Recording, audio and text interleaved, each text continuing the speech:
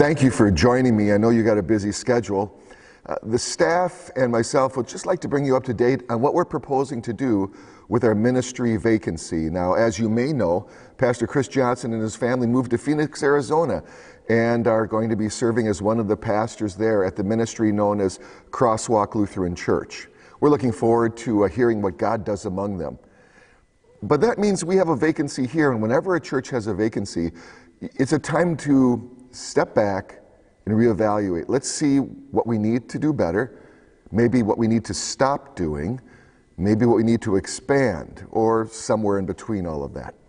And after several weeks of study, we as a staff have really decided that the best course of action would be to, to address several ministry areas, five or six of them. Let me just run through those for you.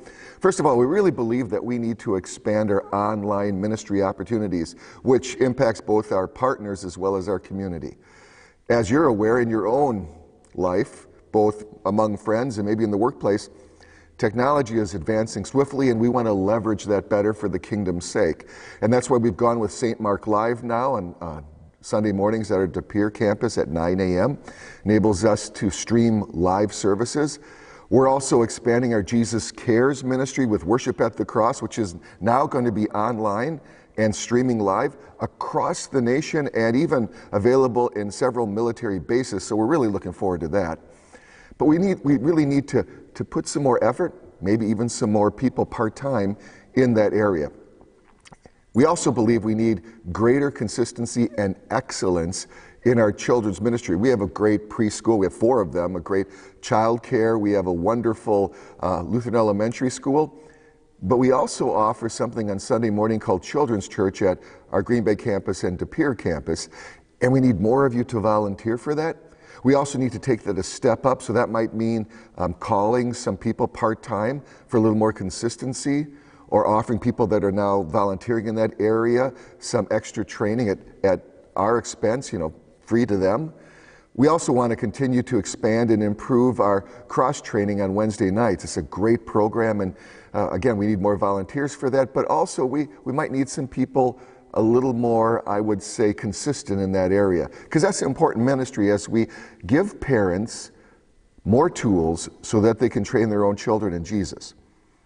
We also need to better leverage what we call social media today, whether it's Instagram or Facebook or or YouTube or whatever you choose to use. Uh, we don't think we're doing a very good job with that. It's the way a lot of people learn. It's a lot of way. It's the way a lot of people communicate, and we really need to spend some more time. For example, how many of you know that we have an app for both Android as well as Apple phones, and maybe you don't have it, and we haven't talked about it enough, and that's my fault. And so we want to make sure we, we do that a little better. We also want to expand our digital footprint, which means we need to mo- make more use of what God is doing in your life through testimonials or through even filming some of the things that go on in one of our ministries and, and getting that out to the community as well as the community of faith we call St. Mark. We need to probably better package some of the Bible classes, some of the courses, some of the series we preach so that you can utilize those maybe for your own family devotions, personal devotions, and growth, or to share with a friend who has questions about the Christian faith.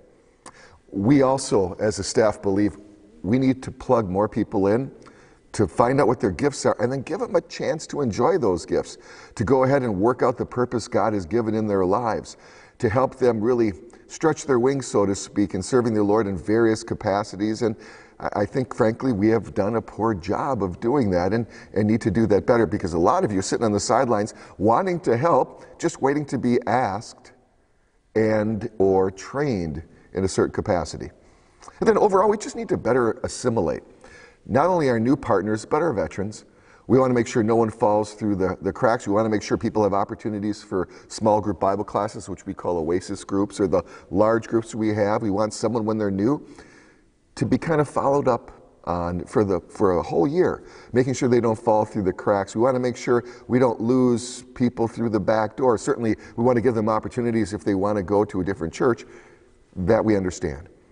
But you know, we'd want to make sure we can follow up the best way we can to care for everyone that Jesus has put into our care.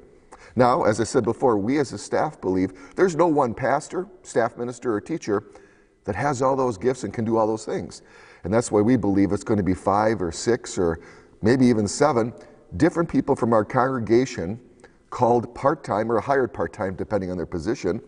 And maybe even a, a couple times we have to outsource some things, especially in technology, to better do the things we think we need to do to better help the kingdom footprint here at St. Mark. Another reason we believe we shouldn't call a pastor is because right now we're part of a bigger family of faith called the Wisconsin Evangelical Lutheran Synod, the WELS. Right now there's a, a vacancy of pastors. There's a shortage between 110 and 120 pastors. I don't know about you, but, but we as a staff and I personally just don't feel right calling a pastor to St. Mark when there are other churches that are just wanting just one preacher. Here we've got myself and Pastor Workentine. We've got staff ministers that also can preach in a pinch for us if Ben or myself get sick. And we just think for the kingdom overall, it would be wiser for us to keep two pastors and call some part time people from our congregation who already agree with our philosophy of ministry and they buy into ministry and are on fire for Jesus. Now, I'm going to let you know there's some things that are going to happen in the event that this goes ahead and, and happens. And one of the things I'm going to tell you, and you'll see it uh, in the show notes, we're going to be having an open forum toward the end of, of November or beginning of December just to take some feedback on this and a few other issues as well. So watch the Who, the worship handout for that, and also the website. Now, this, if we do this, this means immediately there's some things going to happen. Uh, right now, our Monday night, or excuse me, our Monday night service, yes, our Monday night service is going to uh, go to a video venue. We continue to have Monday night service. We'll offer communion here on the third uh, weekend of the month at the De Pere campus. We'll have the Q&As the other times. But at some point, it's going to switch over to be the same format that our Green Bay campus 10 a.m. service is on a Sunday morning, where everything is live, music's live, everything, but then you simply watch the message on video on the big screens and then have a live q&a and prayer time. That'll happen likely in december at the latest january 1st 2020 the riverside campus we've decided at this point to close. It's as if god's saying you know what? It was good. It's time to close it right now and probably restart it down the road. And then you can take those personnel and that energy and, and kind of pour it into the online on campus church that Jesus seems to be blessing tremendously, just tremendously. We have a lot of times over 100 people watching online, and then about 300 to 400 during the week again. And that's in, in addition to the 1,200 to 1,400 that show up personally every weekend at all of our campuses and all of our services. So keep that in mind. Some of the positions I talked about really can go ahead and be hired or called within the next month or two. All the rest certainly after January 1st of 2020.